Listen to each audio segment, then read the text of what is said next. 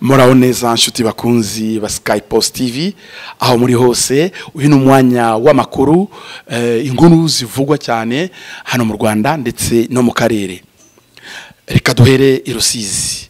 Abagizi ba nabi bataramenyekana bishe umukobwa w'imyaka makumyabiri n'irindwi wakoraga mu kabare ku rwagwa mu karere ka Rusizi. Ibi byabaye kuri uyu wa kabiri ku isaha ya saa munani z'ijoro rishyira kuri uyu wa gatatu tariki makumyabiri n'enye nyakanga mu mwaka w'ibihumbi makumyabiri makumyabiri na kane bibera mu mudugudu wa kabeza akagari ka gihundwe umurenge wa kamembe ho mu karere ka rusizi. Niyo nsenga diane akomoka mu ntara y'amajyepfo mu karere ka huye. Amakuru umuseke wamenye ni uko irondo ry'umwuga ryatabaye ryumvise umuntu atakira kuri aka kabari rigezeyo risanga yamaze gushyiramo umwuka umunyabanga nshingwabikorwa w'umurenge wa kamembe iyakaremye jean pierre yatangaje ko ubwo irondo ryatabaraga ryahuye n'umwe mu bakekwa kugira uruhare muri ubu bugizi bwa nabi. Ati ni byo saa munani z'ijoro umuntu yatatse irondo ritabaye rihura n'umusore witwa ngabirenze erasite avuye muri ako kabari kurwagwa n'ibindi binyobwa bikorerwamo. Umukobwa witwa nsenga diane w'imyaka makumyabiri n'irindwi y'amavuko ukomoka mu karere ka huye basanga yapfuye.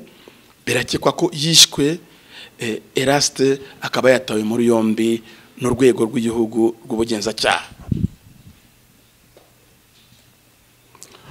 Mu butumwa bw'uyu muyobozi yasabye abaturage kwirinda ubusinzi kwicungira umutekano no kumenya abo bagendana nabo n'igihe bagomba gutahira.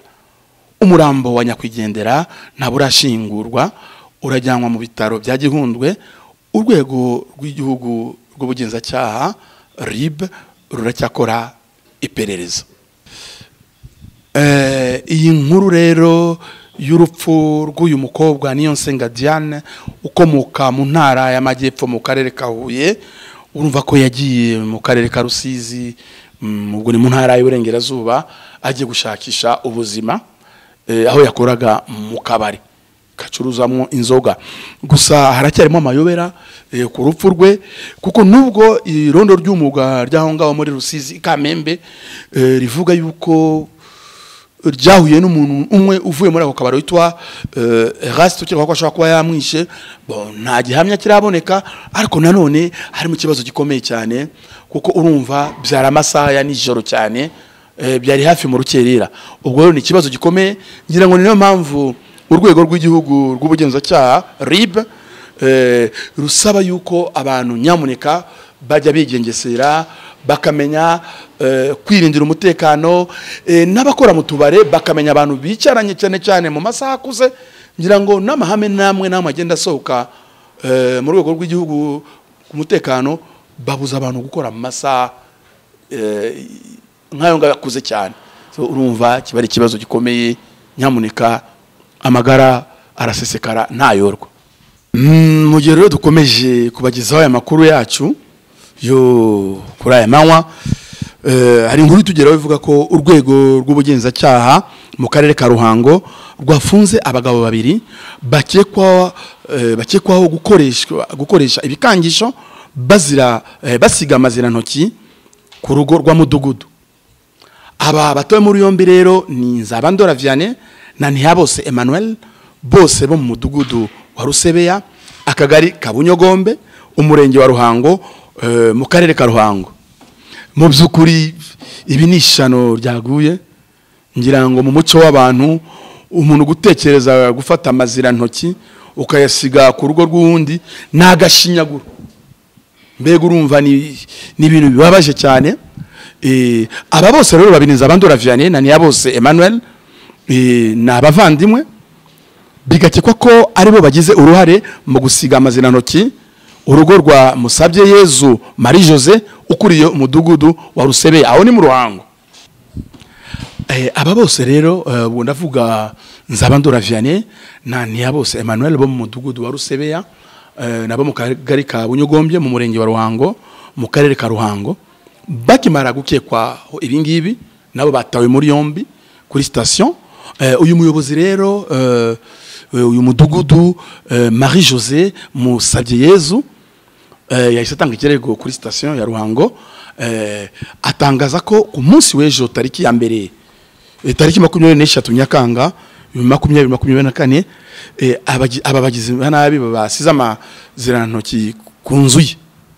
Agira ati ku muryango kuri salon no ku madirisha yombi ni amazirantoki gusa ahantu hose kandi bayasize. Uyu muyobozi ashinja aba batowe muri yombi kuko yaherukaga kubatangaho amakuru y'uko ari abajura ruharwa bakamubwira ko bazamugirira nabi. Ati icyo nifuza cya mbere ni uko inzego zibishinzwe zakurikirana ikibazo eh, ikibazo gihari ni uko bazengereje abantu twabivuga eh, twabivuga bakatwita abarwayi bo mu mutwe. Umunyamabanga nshingwabikorwa w'umurenge wa ruhango kayitare werarisi ku giti cye anenga abasize amazirantoki ku nzu ya mudugudu.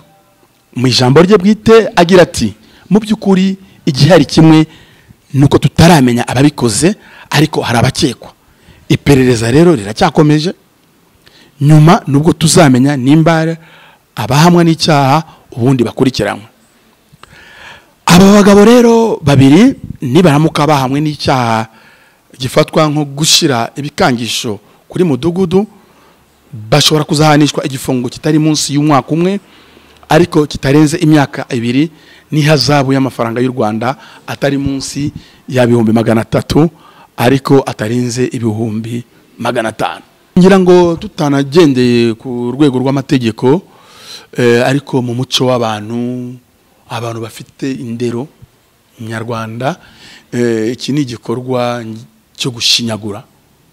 Eh, ariko nanone tukanibaza ku rundi ruhande ese ni bwo buryo bwiza bwo kwihimura ku muntu waba waguhemukiye? Eh, ariko nanone ngira ngo amategeko arabisobanura neza neza mu gihe aba bavandimwe bombi nzabandora vianney na ntiyabose emmanuel bo mu mudugudu wa rusebeya akagari ka bunyogombe umurenge wa ruhango mu karere ka ruhango baramutse bahanywe n'icyaha tumvisha ibihano byabo eh, bashobora gutabwa muri yombi eh, bagafungwa imyaka ibiri ndetse bagatanga n'ihazabu y'amafaranga y'u rwanda atari munsi ya magana atatu ariko atanarenze magana atanu y'amanyarwanda. Reka rero eh, ijisho riduwe eh, ukuri kuzagaragara. Kuko eh, guca mu ziko ariko ntigushye. Dukomeje rero amakuru yacu amwe mu makuru agezweho hano mu rwanda aho tugiye mu majyepfo i nyanza aho ari inkuru rwose na gahomeраmunwa eh, aho umuyobozi yahanwe anaregwa kwiba ibiryo. Hamana jean de dieu umuyobozi w'ishuri ribanza rya nyakabuye ukekwaho kwiba ibiryo by'abanyeshuri mu karere ka nyanza. Yarafunguwe asanga akarere karamuhagaritse mu kazi igihe mu gihe cy'amezi atatu. Mu mpera z'ukwezi kwa kamena makumyabiri makumyabiri na kane ni bwo umuzamu w'iryo shuri riri mu kagari kamanga mu murenge wa mukingo yafatanywe ibiryo by'abanyeshuri birimo umufuka w'umuceri umufuka wa kawunga n'ibindi. Uwakimara gufatwa yasanganywe urufunguzo rw'ahabikwa ibiryo by'abanyeshuri ahita avuga ko yabitumwe n'umuyobozi w'ishuri hamana jean de dieu. Icyo gihe rip yahise itangira iperereza ita muri yombi hamana inafunga uwo muzamu inata muri yombi umucuruzi bikekwa ko yarashyiriye ibyo biryo. Mu kiganiro n'itangazamakuru eh, umuyobozi w'akarere ka nyanza ntazinda erasme yemeje ko uyu muyobozi yahagaritswe by'agateganyo mu kazi. Ati ni byo umuyobozi w'ishuri ribanza rya nyakabuye yahagaritswe by'agateganyo mu gihe hari iperereza riri gukorwa ku byaha akurikiranyweho n'ubutabera. Umuyobozi w'ishuri wahagaritswe by'agateganyo hamana jean de dieu ubu yararekuwe harekuwe kandi umuzamu n'uriya mucuruzi barekuwe by'agateganyo.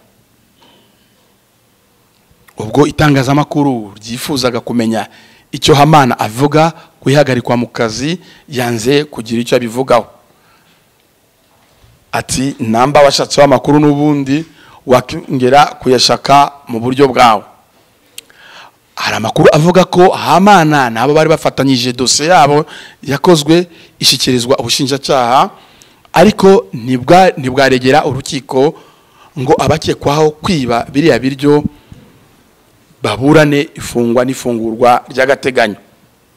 Aba bahise barekurwa ariko dosiye yabo iza kugezwa mu rukiko bakazaburana mu mizi ariko bari hanze.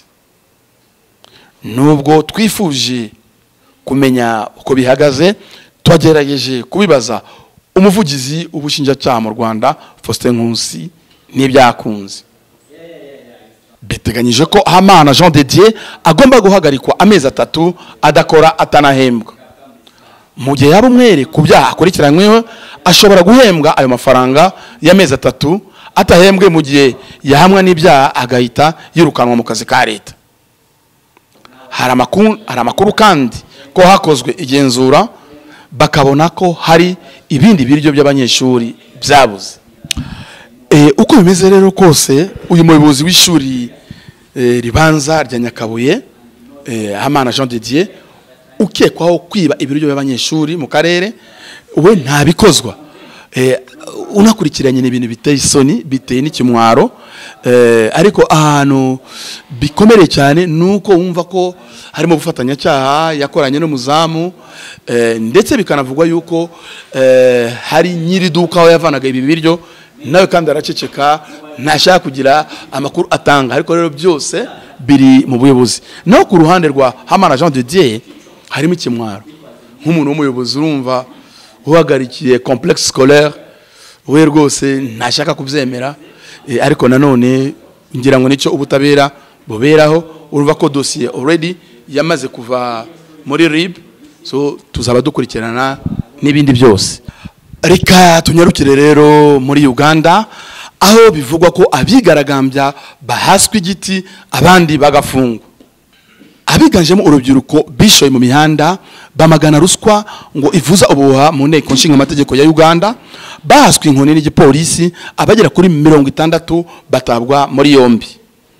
Ni imyigaragambyo yabaye kuri uyu wa kabiri tariki makumyabiri n'eshatu nyakanga makumyabiri makumyabiri na kane aho ah, abiraye mu mihanda bari bafite intego yo kwigaragambiriza ku nteko nshinga amategeko mu murwa mukuru i kampala. Igisirikare na polisi bohereje ingabo n'ibikoresho byinshi mu murwa wa kampala mu rwego rwo gukoma imbere abagerageza kwigaragambya. Mu mashusho yasakaye ku mbuga nkoranyambaga inzego z'umutekano zakoresheje imbaraga nyinshi mu gukumira no gutanya abari bari abari bariye karungu bashaka kwigana urubyiruko rwo muri kenya rwiyise generation z. Abishe mu mihanda bari bafite ibyapa n'imyambaro yanditseho amagambo asaba ko anita amon ukuriye inteko nshinga amategeko ya uganda yegura ku ngufu. Uyu among the new vision yo muri uganda itangaza ko abagera kuri makumyabiri na barindwi batawe muri yombi bahise bagezwa mu rukiko bakatirwa gufunga by'agateganyo kugeza tariki eshanu kanama makumyabiri makumyabiri na kane. Mu batawe muri yombi harimo umunyamakuru wa ntv uganda faiza salima uzwi nka faiz fabs bashinjwe bashinjwe icyaha cyo guhungabanya ituze rusange muri uganda. Umwe mu bakekwaho kuba inyuma y'iyo myigaragambyo ni robert cyagulani wamamaye nka bobi wine usanganywe ishaka national unity platform. Perezida yoweri kaguta museveni aherutse kuburira abashaka kwigaragambya muri uganda ko bakina n'umuriro. Yavuze ko uganda yageze ku iterambere haba mu buhinzi ubucuruzi inganda n'umudendezo rusange wa rubanda. Aho perezida yoweri kaguta museveni yabwiye urubyiruko ko ru- rubishatse rwakomeza gukorana n'abandi mu guteza imbere uganda ariko ko abazashaka ariko ko abazashaka gusenya ibyo abaturage bagezeho bazahura n'ingaruka. Eh, urumva nyuma cyangwa se mu gihe tumva ko muri kenya urubyiruko narwo rwigabije imihanda rwigaragambya rurwanya ruswa Eh, mu by'ukuri urumva ko umuriro wakomeje mpaka muri uganda. Usibye ko bitanoroshye kuko bigaragara ko inzego z'iperereza za uganda tugendeye no ku ijambo rya perezida yoweri kaguta museveni yari yavuze mu minsi ishize hari amakuru yari ahari ko uru rubyiruko narwo rushobora kwigaragambya. Ngira ngo nubwo uru rubyiruko aka kanya rwagerageje kujya mu mihanda rufite n'intego yo kugera ku nteko nshinga amategeko ntabwo byabahiriye kuko benshi batawe muri yombi. Eh, ariko nanone eh, haracyari kare kugira ngo tube twakwanzura eh, ubuzima bwa politiki ya uganda ukuntu bizagenda. Muri uganda rero usanga abaturage bafite ituze barakora. Eh, na perezida museveni kuva yajya ku butegetsi mu mwaka w'igihumbi kimwe magana cyenda inani na gatandatu harimo iterambere rifatika bibe mu buhinzi bibe mu burezi bibe mu budendezo w'abaturage ariko nanone hari ikibazo gikomeye cyane harimo abatavuga rumwe nabo bavuga nyamuneka perezida museveni wakoze neza ariko turakurambiwe. Nawe rero akavuga yuko atashobora gupfa kurekura ubutegetsi kugira ngo ibyo yubatse bitazasenyuka. Noneho hari n'urwenya rukunze kuvuga ngo nagiyeyo nkoresheje umuheto nzavaho n'umuheto. Ariko nanone hano muri uganda kimwe ngira ngo mu bintu byateye imyigaragambyo cyane ni uyu perezidante w'inteko nshinga amategeko ubushize na leta zunze ubumwe za amerika rwigeze kumushyira mu majwi ko ari mu bantu ba ba- ba- ba- ba- bashyigikiye ruswa cyane eh, nuko rero bimeze ariko turacyategereje kureba nimba muri uganda hari busubire umutekano eh, nanone umutekano ushingiye ku- kuri demokarasi kugira ngo abantu bakomeze barangwe n'umudendezo.